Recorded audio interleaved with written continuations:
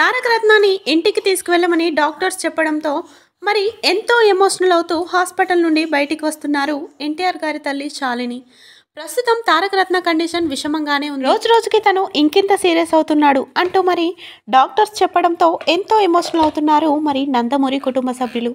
అయితే తారక రత్నకి ఇలాంటి సిచ్యువేషన్ వచ్చిందని తెలిసి మరి ఎంతో ఆవేదనకి గురవుతున్నారు. అయితే ప్రస్తుతం మరి తారక రత్న గురించి కూడా డాక్టర్స్ కూడా రోజు రోజుకి డీలే అయిపోతున్నారని చెప్పాలి.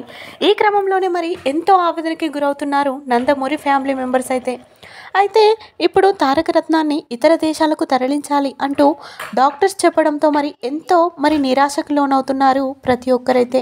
మరి తారక రత్న కోలుకుంటున్నారని కొందరు అలాగే మరి ఇంకొన్ని రోజుల్లో మన ముందుకు వస్తాడని ఇంకొందరు అంటూ వస్తున్నారు. కానీ అందులో వాస్తవం ఎంత ఉన్నదనేది ఎవ్వరికీ తెలియట్లేదు.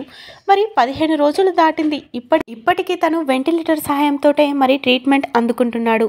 మరి ఎప్పుడెప్పుడు మన ముందుకు వస్తాడు? ఎప్పుడు తను క్యూర్ అవుతాడు? అంటూ కూడా ప్రజలు కూడా ఎంతో ఆవేదనకి గురవుతున్నాడు మరి ప్రస్తుతం తారకరత్న కండిషన్ విషమంగానే ఉంది.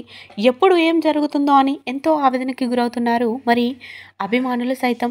మరి అందరి ఆశస్సులతో తను కోలుకోవాలని మనస్ఫూర్తి మనస్ఫూర్తిగా కోరుకుందాం